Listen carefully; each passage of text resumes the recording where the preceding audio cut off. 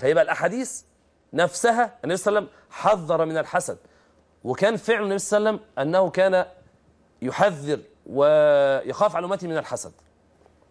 حديث مثلا إحنا قلنا الآيات هنقول الأحاديث. النبي صلى الله عليه وسلم يقول في صحيح مسلم أكثر من يموت من أمتي بعد قضاء الله وقدره بالعين. بالعين؟ نعم. يعني واحد ممكن يحسد واحد يموته؟ نعم.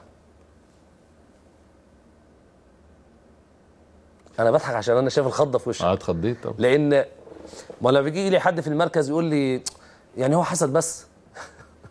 يعني مفيش سحر. أقول له هو يا ريته سحر.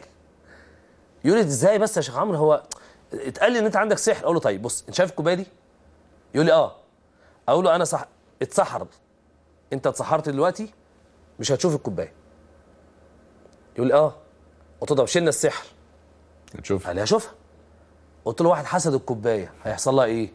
هتدشدش يعني ما تتصلحش. وأنا ليا قصة مؤلمة. اشرح لي في موضوع يعني أقولها إن شاء الله في آخر الحلقة. يعني الحسد ممكن يقتل. يعني حديث الرسول عليه يقتل. آه. نعم. ده أول حديث. بعد قضاء الله سبحانه وتعالى. بعد قضاء الله وقدره. العين.